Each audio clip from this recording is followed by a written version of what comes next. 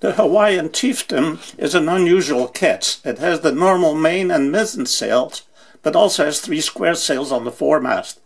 It was built in 1988 in Hawaii and now spends a lot of time along the west coast.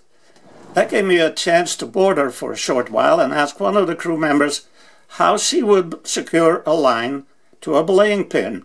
Here is Jackie's reply.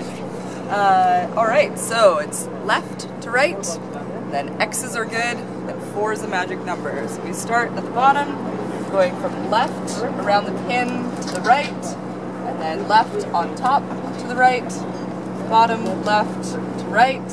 You see we've got an X, X's are good.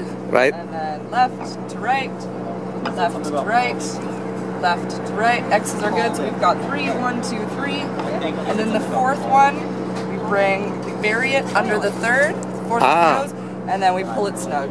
Oh, you don't use a half hitch on that? We don't, not on ours here. Okay. Yeah. All right. What, what about coiling it and then laying it around the... Yeah, so coiling it, uh, we start about a foot away from the pin. Uh, I'd like to say with both left, with your left hand first, knuckles facing forward, stretch out with the right, and then pull it around like that so that you have a coil. We say fists always forward because if you go like this, you're going to make a teardrop, and teardrops make the bosun cry. So, knuckles always facing forward.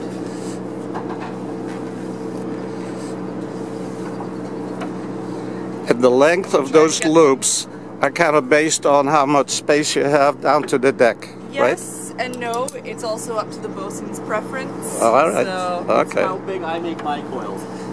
Yeah, it's how big the bosun makes his coils. But we do want to try to get them as uniform as we possibly can. All right. And then you see that was long, so I probably I would redo this traditionally. So I didn't do it properly because now I've got this knot hanging down. So I re would redo that, but I won't do it right now. Right. Uh, so you keep everything in the left hand, and then you punch through your right hand. Grab this line here, fold those over, and then you give it a twist, and that's what goes. And off slip the it over the tin. There you go. You should do a counterclockwise pinch. Oh, you give it a twist as well. Yeah. Very so good. traditionally we'd make sure. I made a small mock-up of a fife rail and attached one small belaying pin. Uh, this darkened pin is one I used on a ship model that is 176th of the actual size.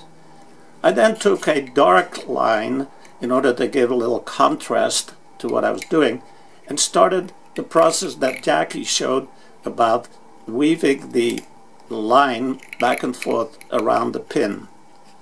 I only gave it uh, two turns versus the four she showed because there's not enough room on the top of the pin.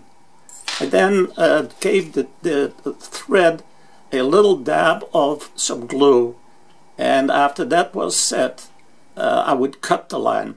But Jackie also talked about when the line comes down from the right you start on the right. When it comes down from the left you start from the left. I also made the uh, coil using a couple nails, a piece of plastic to prevent the glue from sticking. And as you can see, there's that little loop that I pulled through, just like again that Jackie showed it uh, by pushing her hand through the large loop to grab the standing line, so to speak. Here's what it ended up with.